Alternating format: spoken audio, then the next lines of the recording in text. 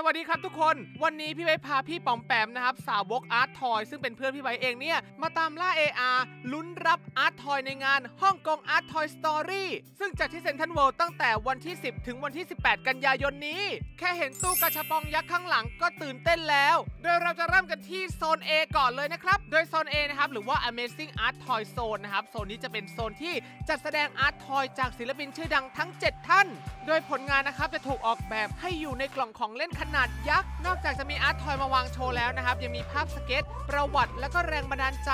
รวมถึงผลงานล่าสุดของศิลปินผู้ออกแบบ มาจัดแสดงกันให้ดูด้วย บอกเลยว่าเป็นโซนที่น่ารักมาก ๆ และเป็นโซนที่ถ่ายภาพสวยมาก ๆ เหมือนเรานะฮะจำลองตัวเองเข้าไปอยู่ในกล่องของเล่นเลยก็ว่าได้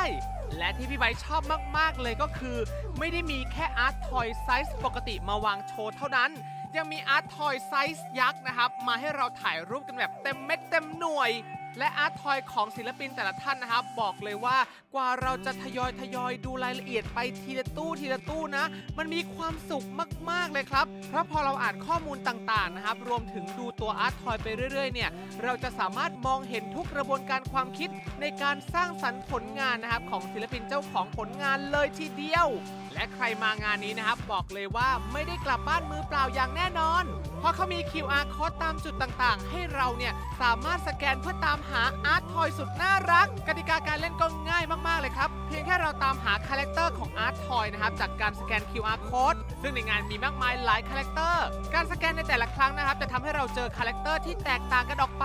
หาครบ3คาแรคเตอร์จากนั้นโพสต์ลงโซเชียลพร้อมติด hashtag HKArtToyStory ก็จะได้รับเหรียญนะครับ ไปหยอดตู้กาชาปองยักษ์นะลูกแรกปุ๊บเอ้ย ลูกแรกนะครับเราได้นี่สเปรย์แอลกอฮอล์ซึ่งมีรูปของอาร์ตทอยอยู่ด้วย ในแต่ละวันเขาก็จะ random เปลี่ยนของไปเรื่อยๆ และใน 1 วันนะครับเราสามารถเล่นได้ 3 ครั้งหรือว่าต้องตามหาให้ได้9คาแรคเตอร์ที่ไม่ซ้ำกันไปหากันต่อเลยโซนต่อไปนะครับจะเป็นโซน B หรือว่า b i l l i o n Art ซึ่งอยู่ตรง Eden Zone โซนนี้นะครับจะจัดแสดงผลงานของศิลปินอีกทั้งหมด 8 ท่านนะครับ บางคนเนี่ยเป็นนักออกแบบหน้าใหม่ แต่ผลงานเนี่ยเรียกได้ว่าไม่เป็นสองรองใคร โดยโซนนี้นะครับก็จะทำให้เราเนี่ยรู้จักศิลปินและก็อาร์ตทอยใหม่ ๆ อีกทั้งยังได้เห็นการออกแบบที่สดใหม่ และก็ความสร้างสรรค์ของศิลปินหน้าใหม่ด้วยครับ แต่เอาจริงๆ สาวกอาร์ตทอยอย่างเราเนี่ยเคยเห็นมาแล้วหลากหลายคาแรคเตอร์แน่นอน นี่น่ารักไหม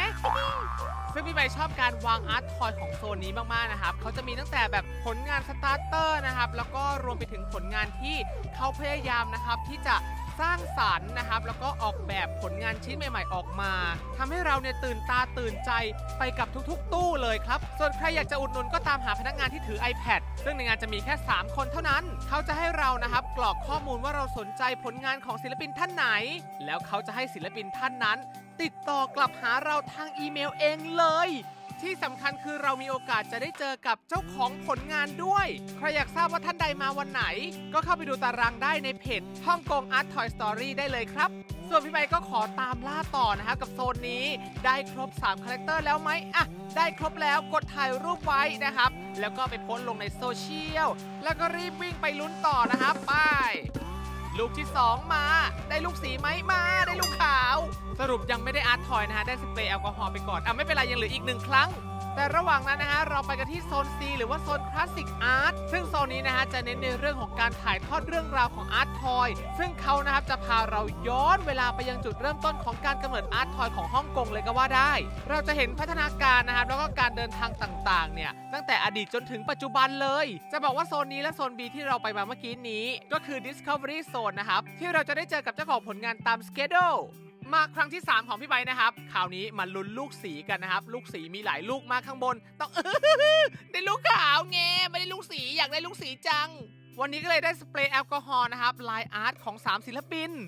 จริง ๆ สุ่มแค่นี้ก็สนุกแล้วนะครับ แต่ว่าก็เออแอบอยากได้อาร์ตทอยอะแต่ไม่เป็นไรนะเพราะว่าเรายังสามารถมาลุ้นได้ทุกๆวันเลยนะครับ ตั้งแต่วันที่ 10 ถึงวันที่ 18 กันยายนนี้ที่เซนทันเวิลด์ บอกเลยว่านอกจากเราจะอิ่มอกอิ่มใจนะครับ กับผลงานอาร์ตทอยทั้ง 3 โซนที่เข้ามาจัดแสดงให้ชมแล้วเนี่ยเรายังได้ทราบเรื่องราวนะครับของฮ่องกงอาร์ตทอยอีกด้วย และที่สำคัญที่สุดนะครับ คือเราได้มีโอกาสจะได้เจอกับนักออกแบบตัวจริงเสียงจริงอีกด้วย บอกเลยว่า collector อาร์ตทอยห้ามพลาด ยังไงมาเที่ยวกันเยอะๆนะครับ